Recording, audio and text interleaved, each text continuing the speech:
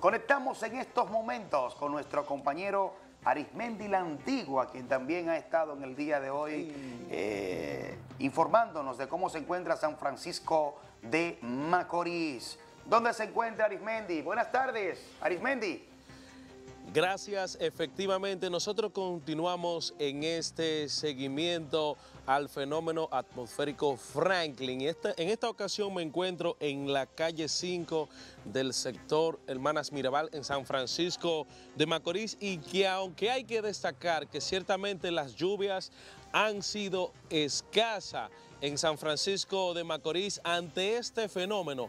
Los residentes de esta populosa calle nunca dejan de sentir este temor debido a las constantes inundaciones que se registran en toda esta zona, desde la parte norte de este sector hacia la parte sur, eh, decenas de hogares son afectados por las torrenciales aguas. Y vamos a conversar con uno de los residentes de esta zona para que sean ellos mismos que nos cuenten cuál es el drama que viven ustedes en esta calle 5 y por qué esta problemática.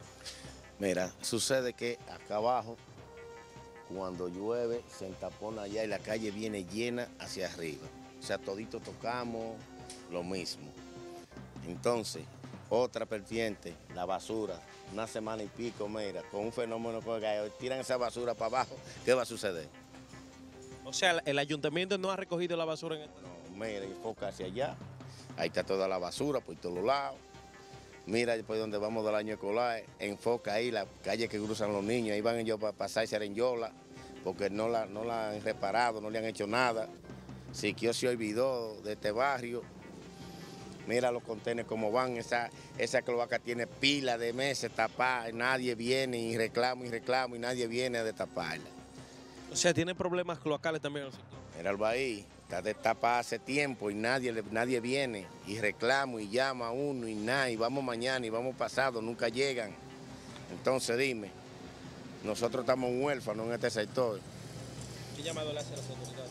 Que por favor que vengan a auxilio de nosotros tanto con la basura como los arreglos de esa cloaca, como también el arreglo de la cañada para que el agua no deje en paz, porque arreglaron allá abajo, pero acá arriba no somos gente. Eh, o sea, allá abajo de la libertad hacia abajo. Ahí repararon, pero de ahí para acá vinieron, midieron y siento los shows, pero no se ve un trabajador. Bien, gracias caballero. Vamos a mostrarle a la persona a qué se refiere específicamente. Miren, este, este callejón es el que conecta el sector Hermanas Mirabal con el sector Madrigal. Al fondo se encuentra la escuela Josefa Emilia Ortega de San Francisco de Macorís y nosotros vamos a caminar en la zona donde podríamos decir que nace esta Cañada Grande de San Francisco de Macorís, donde repetimos eh, una vez más la misma causa de estrago, inundaciones en muchísimos sectores de este San Francisco de Macorís. Y hay que ser justo, las autoridades han iniciado lo que es la primera etapa de lo que es el encachamiento de esta cañada grande, la cual inició desde la avenida Libertad hacia la avenida Frank Grullón de San Francisco de Macorís. Sin embargo, esta parte norte no ha podido contar con esta reparación, lo que ha causado, vamos a, vamos a ver eh, ciertamente aquí en esta zona se acostumbra también, la gente acostumbra a hacer los vertederos improvisados. Miren ahí, estamos, podríamos decir, en la zona de donde nace esta cañada grande, la cual atraviesa San Francisco de Macorís desde la parte norte hacia la parte sur. Y les repito una vez más, a pesar de que realmente las lluvias han sido eh, completamente escasas ante este paso del fenómeno atmosférico Franklin, se espera que en las próximas horas la lluvia en San Francisco de Macorís puedan aumentar, de acuerdo vayan aumentando las horas. Y eh, recordarles, Vladi, que las personas siempre acostumbran eh, las autoridades acostumbran a colocar nuestra provincia en alerta roja debido a la situación específica que se registra en el Bajo Yuna. Eh, también decir que en San Francisco se producen inundaciones en algunas zonas y vamos a tratar de conversar por aquí con las personas que viven a la orilla de esta cañada grande, en la parte donde se inicia. Caballero, ¿qué tal? Estamos completamente en vivo.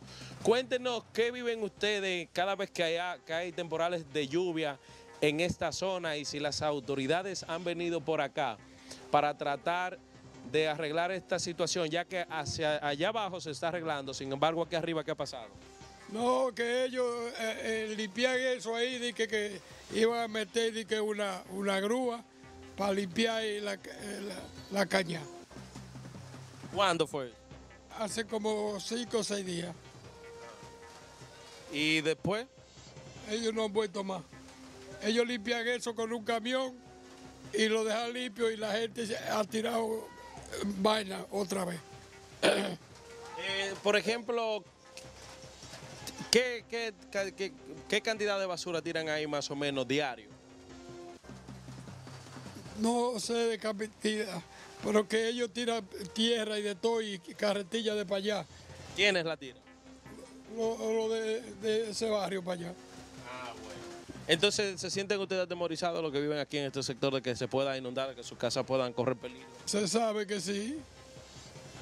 Nosotros estamos jodón porque di que sigue la lluvia, di que. Pero di que eh, para allá, para donde, se metió eh, el ciclón, di que bajó el río ya. Bien, ahí pueden ustedes escuchar lo que se lo que se está viviendo en estos precisos momentos en este sector, Hermanas Mirabal de San Francisco de Macorís, la calle 5, donde repetimos a esta hora del día, las lluvias siguen siendo completamente escasa. Nosotros vamos a estar al pendiente de todo lo que pueda ocurrir en esta cobertura especial del grupo Telenor, es todo lo que tengo por el momento. Yo retorno contigo al estudio. Bueno, muchísimas gracias Arismendi. En otras ocasiones también para este tipo de fenómeno eh, es una zona vulnerable también y donde ocurren muchas inundaciones. Por eso Arismendi estaba por allá. Sin embargo, debido a la baja cantidad de, lluvias producida en, esta demarcación, vemos cómo se mantiene un ambiente de- del que reside por ahí, claro, está preocupado y pendiente a lo que pueda suceder, reclamándole a las autoridades que cumplan con algunos de sus servicios básicos. Nos extraña sobre la recogida de la basura, porque ayer el alcalde había incluso anunciado de que todos los sectores de San Francisco de Macorís eh, se le iba a aplicar una limpieza en recogida de la basura. Sin embargo, esto no fue lo que observábamos ahí en esa zona de las 5, de la calle 5 aquí en San Francisco. Bueno, ya esperamos que esta situación, por ejemplo, con la basura ya en el sector de Mirabal, no genere una situación de inundaciones eh, en esa zona que pues es la parte alta de la ciudad, que ya a partir de ahí, pues todo el que pues vive aquí en la ciudad, sabemos que ya es una zona muy alta, o sea, Así es. pero muy alta en cuanto a la altura, ¿eh? o sea, uno va subiendo. Entonces, sí, sí, por eso se le dice la zona alta, Exacto. la zona alta de esta demarcación. Pero el tema de la basura, Villalona, es preocupante porque recuerda que luego del paso de una tormenta, de un fenómeno tropical, de lluvias en sentido general, eh, se generan lo que son las enfermedades. Sí. Entonces, eh, el criadero de, de- de ratas, mosquitos, hay que evitar el dengue, el cólera y todas estas enfermedades, Sí. eh, la leptospirosis, que son generadas justamente por esas situaciones. Un arduo trabajo va a tener ahora el, el Departamento de Salud. Salud aquí- Pública. Salud Pública aquí en la provincia de Duarte para tratar de frenar cualquier brote de esas enfermedades.